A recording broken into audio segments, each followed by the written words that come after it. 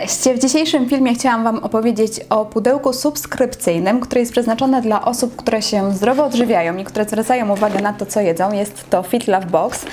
E, na YouTube jest bardzo dużo filmów o różnego rodzaju pudełkach tego typu i są też pudełka związane z żywnością i stwierdziłam, że skoro te kosmetyczne tak dobrze się oglądają i cieszą się takim zainteresowaniem, to dlaczego by nie nagrać filmu o takim właśnie spożywczym pudełku.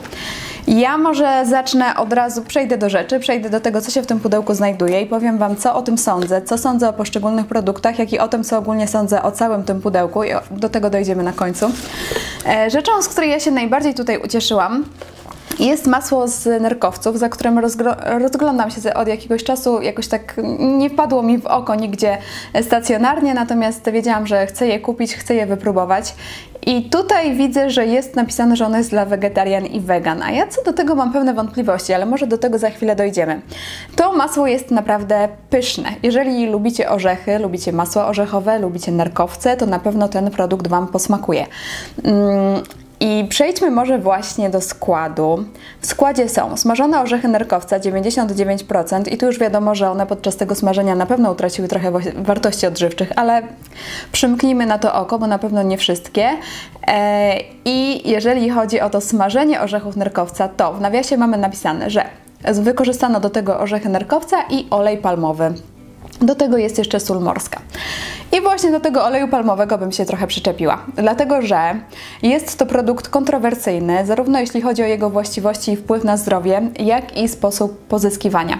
Ja jako świadoma konsumentka nie mogę tutaj przymknąć oka tak całkiem na ten temat. Mm, jeśli chodzi o same właściwości oleju palmowego, to tak jak mówię, to jest temat dyskusyjny. Przeczytamy w internecie zarówno artykuły na temat tego, jak to o, jest on bardzo szkodliwy, wręcz rakotwórczy, jak zatyka nam żyły i robi masę innych innych rzeczy, co podobno ma się dziać, jakby szkodliwość tego produktu wynika z tego, że jest on rafinowany i w procesie rafinacji tam dzieją się z nim takie różne złe rzeczy.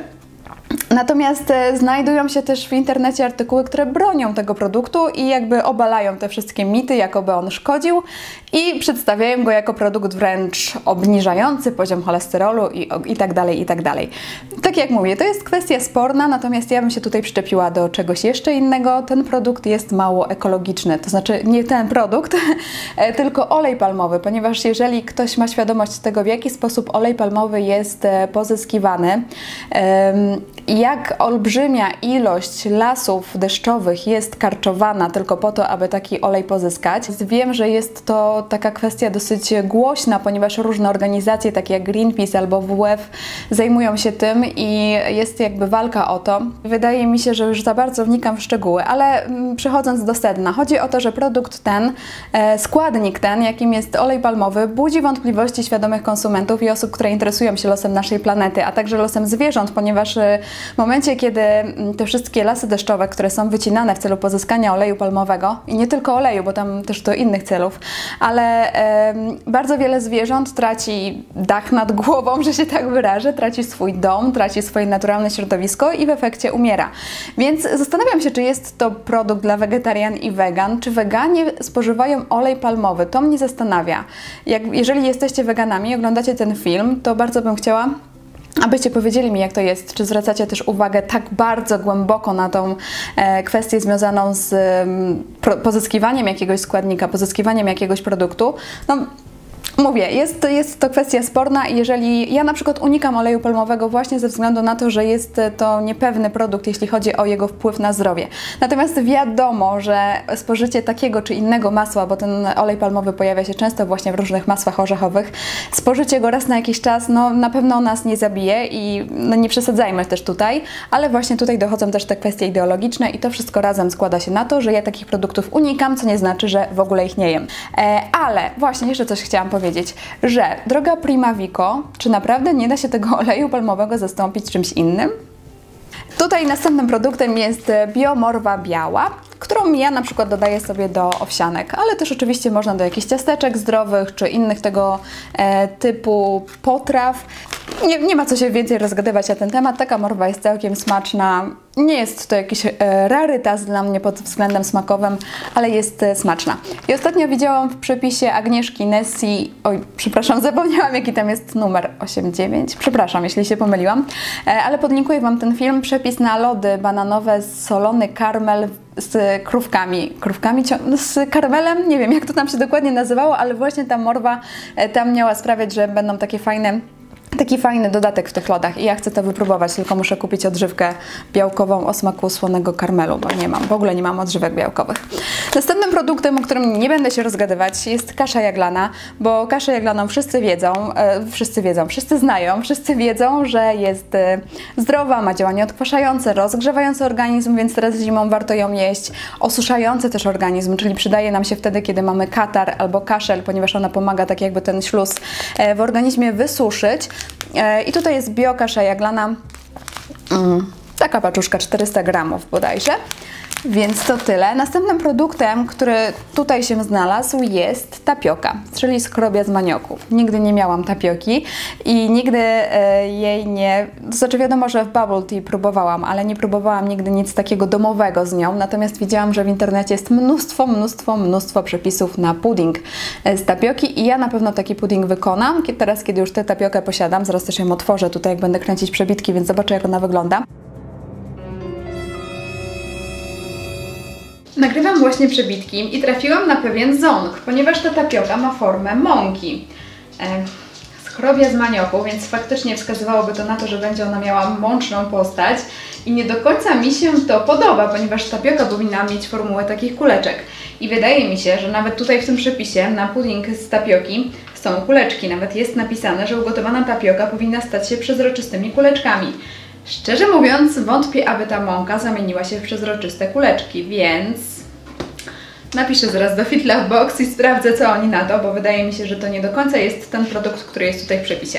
Ale być może macie jakieś doświadczenia z tapioką i właśnie z takim, e, z taką skrobią e, z tapioku, z tapioku, z manioku, z tapioki i jeżeli tak, to koniecznie dajcie znać w komentarzu, a ja to wyjaśnię i może w jakimś vlogu, bo planuję niedługo nagrać daily vloga, e, będzie ciąg dalszy tej historii. Następnym produktem jest e, mleczko kokosowe, więc jest to to napój z mlekiem kokosowym o smaku czekolady. W składzie jest woda źródlana, mleko kokosowe 11%, organiczny syrop daktylowy i kakao 2%. Absolutnie nie ma się do czego przyczepić, z tym, że do jednej rzeczy tylko ten produkt nie jest chyba zbyt dostępny w Polsce. Chyba dopiero wchodzi na polski rynek i wiadomo, że jest to produkt niszowy, więc pewnie nie będzie tak dostępny na każdym kroku, ale naprawdę bardzo, bardzo fajna rzecz. Niestety nie wiem ile kosztuje, bo właśnie nie mogłam znaleźć przez to, że przez to, że nie jest jeszcze w Polsce zbyt dostępny, to nie mogłam znaleźć jego ceny. Zaraz go spróbuję.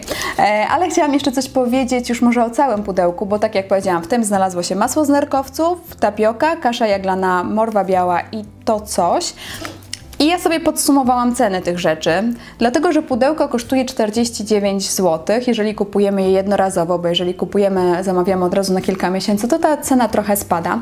I zastanawiałam się, czy to wszystko jest jakby warte tej, e, tej ceny, czy tutaj te rzeczy nie są że tak powiem, tańsze wartościowo, chociaż oczywiście wiadomo, że tutaj dochodzi koszt pudełka, dochodzi koszt przesyłki, więc teoretycznie mają prawo być tańsze, ale zawsze sprawdzam, czy to się będzie konsumentowi opłacało. I muszę przyznać, że bardzo fajnie to wygląda cenowo. Nie znam ceny tego mleka, tak jak powiedziałam, ale te wszystkie rzeczy razem wyniosły mi, jak sprawdziłam ich ceny w sklepach internetowych i to brałam takie najtańsze ceny pod uwagę, wyniosły mi 47 zł. Więc cena pudełka jest naprawdę bardzo spoko. I jeżeli chodzi o to, czy w ogóle warto moim zdaniem takie pudełko kupować, to powiem tak. W przypadku kosmetyków, moim zdaniem, o, jako osoby, która nie jest jakoś zakręcona na punkcie kosmetyków, to zupełnie nie warto, bo w efekcie wylądujemy z, nie wiem, pięcioma kremami do twarzy, piętnastoma maseczkami e, i tak dalej, i tak dalej. Natomiast e, tutaj wydaje mi się, że jeżeli ktoś się odżywia zdrowo i dostaje takie rzeczy, to on będzie je zużywał. Po pierwsze może posmakować rzeczy zupełnie nowych, tak jak na przykład e, tego, czy jeżeli ktoś nie miał do czynienia z tapioką czy z masłem z nerkowców, tak jak ja, to poznaje sobie coś nowego, ma taką niespodziankę co miesiąc, że coś tam nowego się znajdzie.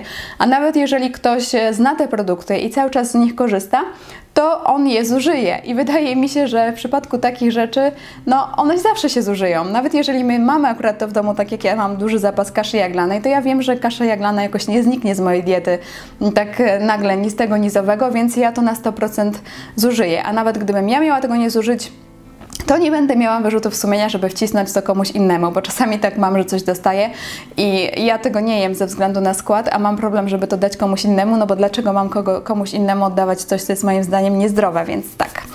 W pudełku dostajemy jeszcze oczywiście taką instrukcję, e, instrukcję, informacje na temat produktów, które się tutaj znalazły, na temat ich właściwości, ale też taką fajną rzecz, przepisy Fit Love Box marzec 2016 i tutaj jest kilka przepisów z wykorzystaniem produktów, które się w tym pudełku znajdują. Żeby Wam to jeszcze trochę bardziej rozjaśnić, co możecie znaleźć w takich pudełkach, powiem, co było w poprzednich miesiącach.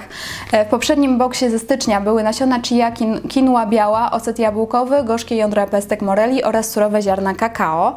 Natomiast w lutowym były, mm, gdzie to jest? Wysokiej jakości olej kokosowy, spirulina w proszku, mąka jaglana bio, w 100% naturalny biat, ba, biaton, baton kosmos oraz magnez w postaci cytrynianu. Tutaj też właśnie mogą się pojawiać suplementy diety, więc ewentualnie to może być dla niektórych problematyczne, jeśli ktoś w ogóle nie uznaje suplementów diety, ale mm, no nie ma powodu, aby od razu z tego powodu skreślać pudełko i suplementów diety. E, też nie ma powodu, aby skre e, skreślać, ponieważ niektóre suplementy są naprawdę wartościowe. I jeszcze może wyjaśnię, że ja to pudełko otrzymałam od Fit Love Box, ale nie jest to pierwsze pudełko spożywcze, jakim, e, jakie dostałam, otrzymałam w celu przetestowania, natomiast jest to, to pierwsze, którym się dzielę z Wami, ponieważ uważam, że jest to pierwsze, które jest tego warte warte. Więc e, to nie jest tak, że e, chwalę je tutaj i polecam dlatego, że je dostałam za darmo, tylko dlatego, że uważam, że jest tego warte, bo gdyby nie było, to zwyczajnie bym tego nie pokazała. Dobra, żegnam się już z Wami. W międzyczasie jeszcze wypróbowałam sobie to mleczko. Jest naprawdę pyszne, bardzo fajne zarówno do wypicia, jak i do zalania sobie nim na przykład owsianki, ale tak mi przyszło na myśl, że akurat mam chyba wszystkie składniki, które są w składzie tego mleka i naprawdę bardzo łatwo jest je odtworzyć w domu. Jeżeli tylko mamy mleko kokosowe i syrop daktylowy plus kakao albo karop i naprawdę e, jest to fajna rzecz, którą można się tak nawet e, zainspirować, żeby zrobić ją samodzielnie. Mam nadzieję, że film okazał się dla Was pomocny i jeżeli Wam się podobał, no to, to fajnie. To do zobaczenia w następnym filmie. Pa, pa!